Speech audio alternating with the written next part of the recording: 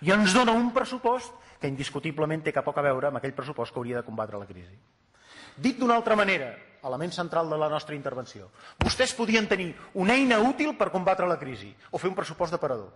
I aquest grup des de l'oposició li diem, vostès han optat pel segon.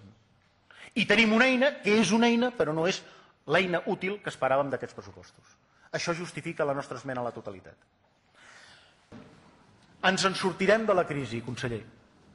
Aquest debat ha de servir per poder dir al poble de Catalunya ens en sortirem. I ho podem fer-ho junts. Tots els grups d'aquesta cambra política hem de poder mirar la ciutadania de Catalunya per dir ens en sortirem de la crisi que patim. Però no ho farem amb retòrica. No ho farem amb un pressupost que no serveixi. Soc dels que crec que necessitem donar confiança a la gent que es lleva cada dia per anar a treballar.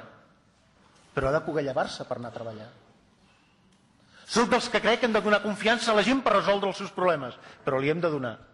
I avui tenim l'oportunitat en aquest debat de que veritablement la gent cregui que ens hem posat d'acord sobre mesures que poden combatre la crisi, arreglar el seu present, preparar el seu futur.